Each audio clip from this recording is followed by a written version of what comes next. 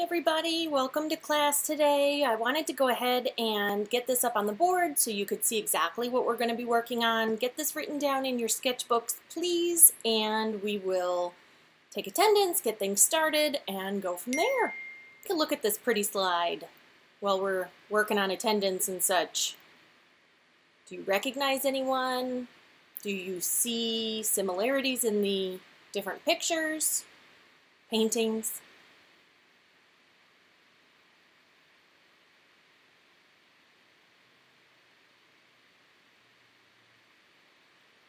And a little fun.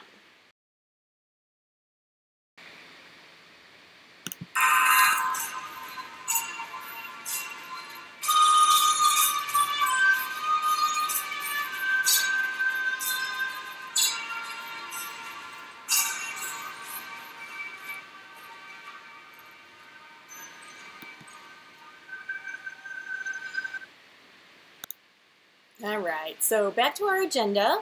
Uh, today we will define, discuss Impressionism and the rise of pointillism during the post-Impressionism period in France. You, as my lovely students, will actively participate in class in order to demonstrate and explain your understanding of the science of optical blending through the creation of a color wheel. So let's get ourselves started. What do you guys know already? Using the images from the first slide of this presentation, so really the one with all the paintings. Name an artist featured from either Impressionism or Post-Impressionism. Name some things that you see in common among those paintings, and what is that science I'm talking about?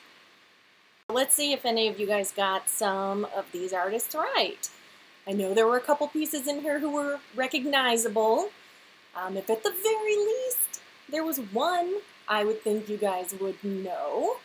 So the names are Seurat, Van Gogh, Signac, Pissarro, Luce, and Cezanne. They are the main players, I feel, in Impressionism and Post-Impressionism in France. Pissarro is actually a woman. There were very few women in most of art back at the time. So George Seurat, some say they see poetry in my paintings. I only see science. He really wanted a very structured way to go with his painting. So let's start with Impressionism first. We're in France, 1860s. The Salon is in full force. Monet, Manet, Rodin, and Degas are the big players in this case. They chose to get a quick glimpse or an impression of the scene. They did a lot of their painting en plein air, which is outside. Um, Claude Monet was kind of the outlier of the group. He wanted to use a technique that kind of just dabbed the paint on the canvas. And then instead of mixing on the canvas or on the palette, he lent it to you and your eyes to see the colors mix when you stepped back and you were at a distance from the painting. Then we have post-impressionism, and this is really what pointillism grew out of. Uh, we're about 20 years later. The artists involved in this period wanted something more. They wanted more than just that quick impression. Um, so Seurat, Van Gogh, Cezanne, and Gauguin uh, kind of created something different for themselves, something that spent a little more time. Often they still would start painting out in the open, um, but then take their pieces back into the studio and continue at that point. George Seurat was really the lead in this movement. He and Paul Cézanne split from the others, uh, wanting something more scientific, whereas Van Gogh and Gauguin wanted something a bit more emotional in their paintings. Now, what else in the world was going on? Take a moment with that same group, gather your table mates, brainstorm, Google five things that were going on in the world at that time what kind of things can you find might have led these artists to feel the need to be different. Feel the need to break from the expected, the typical classical look of paintings prior to Impressionism. So here we have some of the main things that I found were going on. And that top one is a big deal. In the States, we had President Lincoln and Gettysburg going on, and we had Queen Victoria in England. Uh, the Suez Canal was opening up. Um, but the top three are really our biggest deal. Uh, what family would you say that those things would be gathered together in? So, what family? Technology, right? Technology was evolving, and the light bulb, the telephone, the camera, everything was becoming so much more popular and so much more user friendly, I guess, for the time. And the camera was something they were going to have to compete with. So, artists had to evolve too. And this was the last period in the history of art, really, where art was as it had been before artists now had that permission. They had that permission to be something different, make something different than what the camera was going to be able to give the client. Where can you think you guys see that still happening in our world? Pointillism still being used in our modern world. Anybody have a CRT monitor still? I know they're pretty old, but even a television, old television screens, get up close and you can see all the small dots that from far away form the pictures you see. Offset printing is very common. You get that moire pattern that you'll see again actually in my example of our color wheel. And then modern artists, a lot of modern artists still use their own interpretation of pointillism. So what I want to go ahead now and do is let's partner up.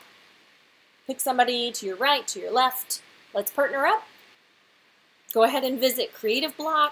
You know, check out, find a artist that you like, a modern artist, a school appropriate artist that you can choose a photo and load it onto YoTeach and let us know, let the class know what it is that you liked about this, that you were drawn to about this particular artist and their interpretation of pointillism.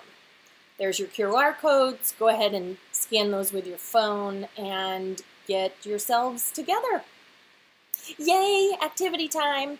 All right, so we're going to be making color wheel. we're going to use the pointillism technique with stippling small dots. You can only use red, yellow, and blue are primary colors. You can only use those colors and you must create your secondary colors. You can use any medium you have available. You'll see that I did mine with Adobe Illustrator. Turn in your color wheel when it's complete or no later than three class periods.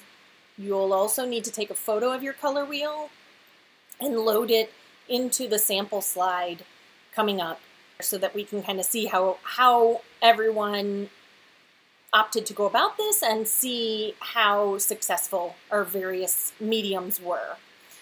If you are using a digital medium, you can see my directions here about how to handle that slide, and everyone will turn in their slides via Google Classroom. All right, this is my example. I have a quick video at the end of all this showing you how I created it.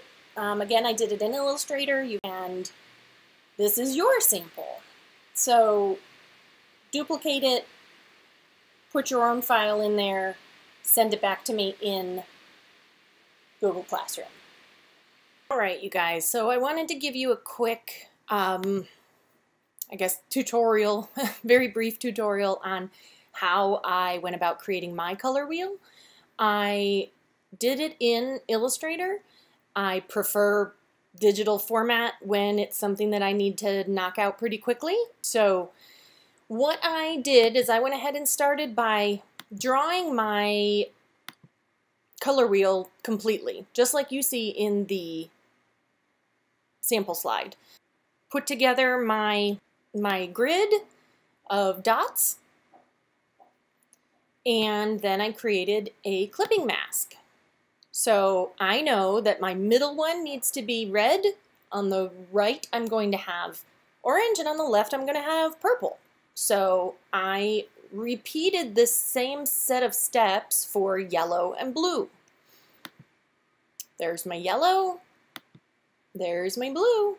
So that is pretty quick how it went about. I used the same grid of dots, I just changed their color and changed where the mask was. This is your rubric. If you have any questions whatsoever, please let me know. Do not bury yourself before you ask me a question.